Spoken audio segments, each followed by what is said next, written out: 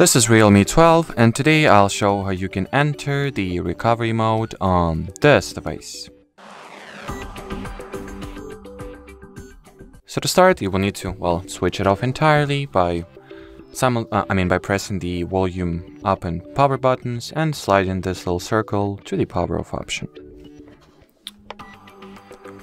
Once the smartphone is shut down entirely, simultaneously press and hold the volume down and power keys and let them go once you either feel a slight vibration or you see the Realme logo.